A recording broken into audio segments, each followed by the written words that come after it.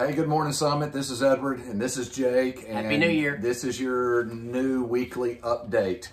Hey, I do want to say this is going to be a little different update today. We normally cut up and mess with each other and do some stuff like that, but I do want to take a minute today and address what happened in our nation yesterday. But before we do that, we do have a couple of things we want to mention to you, uh, specifically about Summit, some things that are coming up. And so, Jake, why don't you uh, mention a couple of things real quick? New year, new times. I know we had a little break for Christmas and for New Year's, and uh, but man, we're rolling again. Last night was Wednesday night. Our youth met again. So if you got kids Great sixth through twelfth grade, Great they're crowd. meeting on Wednesday nights, and Ashley had her Kid Venture small groups, and so they rotate those. So you'll need to get in touch with Ashley about what grades are meeting on what read, Wednesday read nights. your emails. You'll get an email from Yeah. Ashley every week. That's she right. lets you know those I got one. schedule. I, So- I'm married to her, and I get the email every week. So, yeah, a lot of cool things happening. We're going to be relaunching small groups on the 31st. Still about that. gathering all of our small group leaders and things of that nature. So, if you're interested, please reach out to me at jake at summitheightsfellowship.com. Also, our re-engage ministry, we've got some couples. That's our marriage That's ministry. our. It's it's Hey, awesome. I was going to get to that. Man. Okay, man, I'm just No, making sure, kidding, make sure, make sure, make sure. Little role reversal there with the interruptions. No, I'm just kidding, man. Uh, yeah, so our marriage enrichment, and so uh, what's really cool about Reengage is you'll have a lot of different couples in, in one of the classes, and you, you may have a marriage that's fallen apart. You may have a marriage that literally, like, uh, divorce papers may be in the console of the car, and we've seen that Yeah, before. more than once. We've seen couples come through that class and reignite their marriage and make new commitments. But you also may have a couple, you know, on a scale of one to 10, they're like a seven, but they want to be a nine or a 10. So they go through the course as well. And so if you want to be a part of that, reach out to us. Uh, we've got behind the scenes, we're getting some leaders ready for that as well. So that'll relaunch as well with our small group ministry. So uh, just a minute, it's exciting time. I'm, New Year's, man, I've made some New Year's commitments this year, Edward. I'm excited about seeing if I can keep them. Yeah, that's good. Hey, January 17th, too, that's a week from Sunday. We're going to be um, giving you an opportunity to sign up in some service areas. Uh, we've got all kinds of things that go on children, preschool, youth, first impressions, food ministry, uh, media. Uh, online church, uh, all kinds of ways that you can serve. And so we want you to be aware of that and uh, even if you're still staying at home uh, because of all the stuff that's going on right now with the pandemic and COVID, there's even ways you can serve from home uh, on our online uh, church. So be looking for that. That'll be January the 17th. So you got anything else today? Yeah, one more thing I I almost forgot. Our uh, grief support will not meet this Sunday.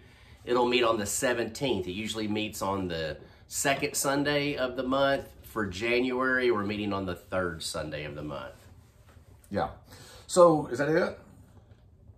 I got, yeah, I think so. Uh, so l- let me let me address what happened yesterday. Um, I, I think for a lot of you, what you saw on TV yesterday and and what I saw on TV, Jake and I were just talking about it. Um, was just an incredible day, and I'm so grateful uh, for the men and women who serve uh, in politics. You've heard me say that before, uh, that those men and women serve at the pleasure of our country, and we're grateful for those guys. I'm grateful for the law enforcement um, people who risked their lives, even yesterday.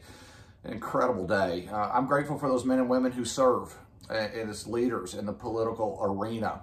Uh, and I do have notes here, so I want you to know I'm, I'm staying on track here because I want to be very pointed in, in what I 'cause I want to give you some encouragement.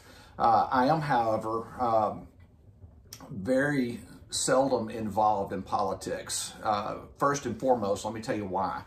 Uh, I don't address a lot of political things from the stage. I don't address a lot of political things, uh, period, because my calling is a pastor. First and foremost, uh, I am a pastor. I am sure of that calling.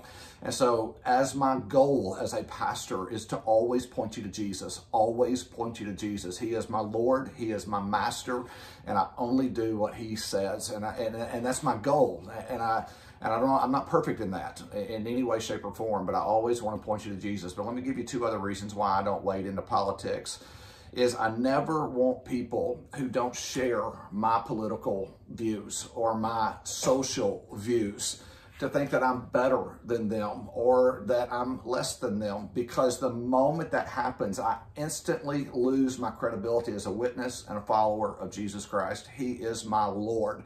And number two, I'm just going to be honest with you. When it comes to politics, I'm not even sure I'm right in the first place, Jake, uh, on so much because I don't have all the details. I don't have everything. And so uh, I just don't wade into that. I, I want to point people to Jesus because that's what I am sure of is the Lordship of Jesus Christ. And when I let Jesus be Lord of my life, I am incredibly free, just simply, to be a servant. I'm, I'm the servant of the Lord Jesus Christ. And number two, when I let him be the Lord of my life, it is incredible the amount of peace and the rest that comes because he's in control. And I trust him. And, and even when I'm fearful, even when I'm seeing things that just cause me to scratch my head and we what's going on i trust him because he's my lord he's my master and so yesterday i'm going to be honest with you was shocking and sad.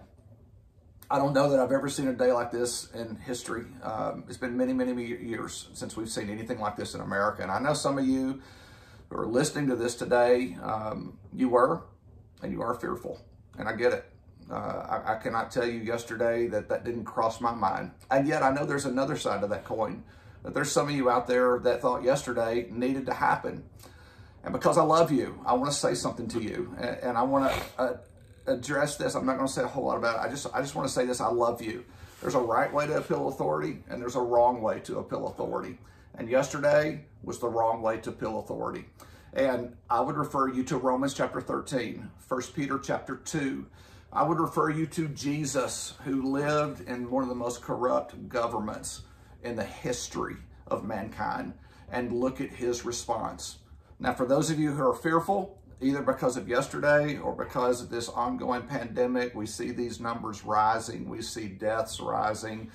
We see all those things. And I know there's all kinds of thoughts around that. Let me say this. I always, always, always want to point you to Jesus. He is our example. Over and over again in Scripture, Scripture says, fear not.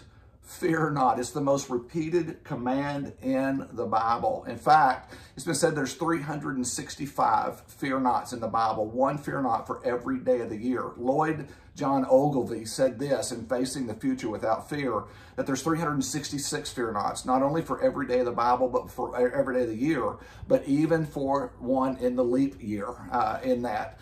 And so God doesn't want us to go a single day in fear he, he, he wants us to go every day and hear him say, fear not, fear not. In fact, Isaiah 41.10 says, don't panic, fear not, I am with you. There's no need to fear, for I am your God. And that's from the message version. And I love that. Don't panic. I'm, I, I'm with you. God says, I've got this. I, I'm there. I'm your God.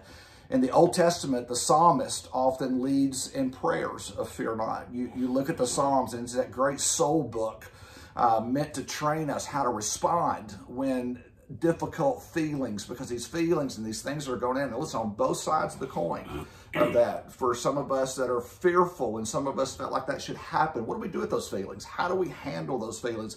And I love the Psalms because the Psalms is that is that emotional book. It's it's where David teaches us and the psalmist teaches us how to handle our feelings and to be emotionally honest in prayer.